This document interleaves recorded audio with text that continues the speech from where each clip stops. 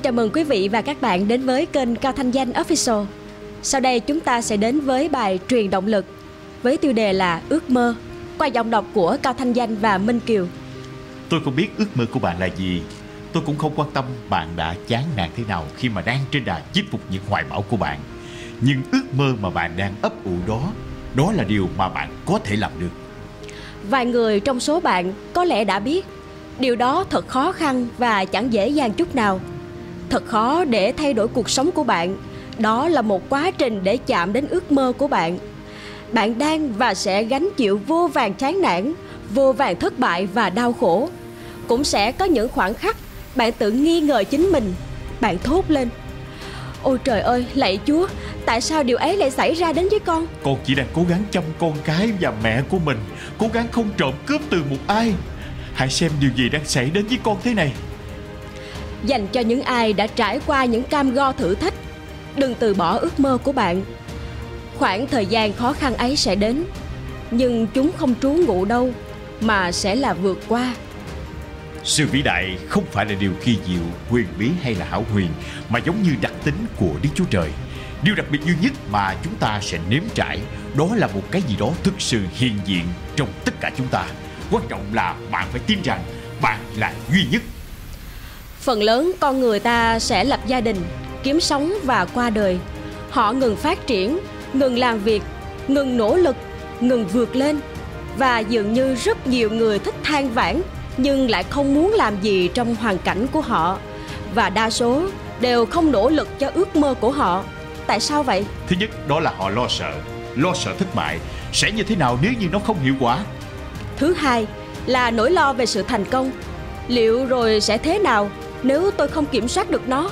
Họ không phải là tiếp người mà thích sự mạo hiểm. Bạn đã dành quá nhiều thời gian vào người khác, chỉ để làm cho họ thích bạn, thậm chí là bạn hiểu người khác còn hơn cả chính mình. Bạn tìm hiểu biết rõ về họ, bạn muốn chơi bời như họ và bạn muốn giống như họ. và bạn biết không, bạn đã đầu tư quá nhiều thời gian vào họ đến nỗi bạn còn không biết bạn là ai. Tôi thách bạn tự dành thời gian cho bản thân của mình Nếu như bạn muốn sống cho hoài bão của riêng mình Thì tốt nhất là bạn nên vứt bỏ cái thua cuộc trong chính cuộc sống của bạn. Nhưng đối với những người đang đi trên đà chạm đến ước mơ Thì cuộc sống sẽ có một ý nghĩa đặc biệt. Khi bạn đã trở thành người đúng đắn Điều bạn làm là bắt đầu tách biệt chính mình ra khỏi người khác. Bạn sẽ bắt đầu có sự độc lập nhất định Miễn là bạn theo kịp những người khác Miễn là bạn trở thành một copycat hoàn hảo.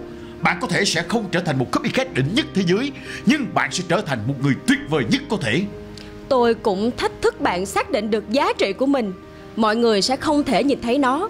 Mọi người cũng sẽ không đi cùng bạn Và họ cũng sẽ không có tầm nhìn. Bạn cần biết rằng bạn là một sinh vật đặc biệt. Sẽ rất cần thiết nếu như bạn điều chỉnh với mọi người và thu hút họ đến với doanh nghiệp của bạn. Những ai đang đối khác, những ai đang không thể dừng lại và không biết điều, những ai đang tái dựng lại cuộc sống mà vốn dĩ phải thế và những ai muốn nhiều hơn thế. Những người đang sống trong ước mơ của họ trong bữa tiệc của những kẻ chiến thắng tự họ cũng trói buộc chính họ.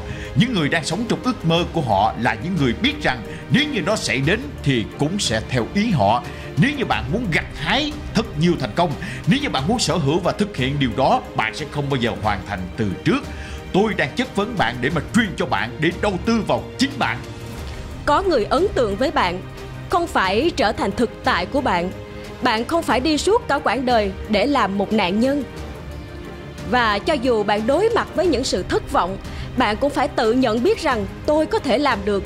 Thậm chí không ai thấy được sự nỗ lực đó nhưng tôi nhất định phải thấy trong chính bản thân mình. Đó là những gì mà tôi tin vào và tôi sẵn lòng sống chết với nó. Chấm hết. Dù cho nó có tồi tệ đến mức nào tôi sẽ làm được. Tôi muốn thể hiện một quan điểm. Tôi muốn thể hiện những khả năng. Ngay lúc này vài người trong các bạn muốn vươn lên một vị trí cao tôi muốn là thành viên của một hội đồng tôi muốn trở thành kỹ sư tôi muốn trở thành bác sĩ hãy nghe tôi bạn không thể với tới các vị trí đó về mặt kinh tế cho đến khi bạn bắt đầu định hướng vào tâm trí của bạn. Bạn không đọc sách. Tôi thách tất cả các bạn đến tham dự một buổi hội thảo. Tôi thách bạn chịu ở một mình. Tôi thách bạn bỏ ra một tiếng đồng hồ để mà thu thập kiến thức. Khi bạn đã trở thành chính bạn, một người được sáng tạo để trở thành, được chỉ định thành người mà bạn đã được chỉ định. Khi bạn trở thành một cá thể riêng biệt, điều bạn làm đó là tự bản thân tách biệt với người khác. Tôi đang thách thức bạn Đến nơi mà người ta không ưa bạn Hoặc không để tâm đến bạn Vì sao? Bởi vì bạn không phải điều khiến họ cảm thấy vui vẻ Bởi vì bạn muốn tạo một cú nổ lớn và vươn lên vị trí cao Tôi cần bạn định hình trong tâm trí của bạn Nếu bạn vẫn nói đến ước mơ của mình Vẫn tiếp tục nói đến những mục tiêu nhưng bạn vẫn chưa hoàn thành được Thì hãy bắt đầu những bước đầu tiên bạn có thể làm cho gia đình, nhà trường tự hào sẽ ảnh hưởng đến hàng triệu người đang sống và thế giới này sẽ không thể như xưa nữa vì bạn đã đi đến chặng đường này. Đừng để một ai đánh cắp ước mơ của bạn.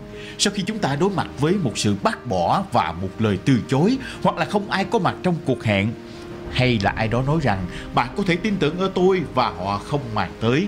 Nếu như chúng ta có một thái độ đó sẽ không một ai tin bạn và bạn sẽ bị đánh mất một lần nữa và một lần nữa ngọn nến sẽ bị dập tắt. Nhưng một khi bạn vẫn theo dõi ước mơ của chính mình, kiểm điểm lại mỗi ngày và nói với chính mình là mọi thứ vẫn chưa dừng lại cho đến khi tôi chiến thắng. Bạn có thể sống cho ước mơ của bạn và tôi chúc bạn thành công. Bài đọc của chúng ta đến đây là kết thúc. Rất vui vì sự quan tâm lắng nghe của các bạn. Hy vọng là sẽ gặp lại các bạn trong bài đọc tiếp theo.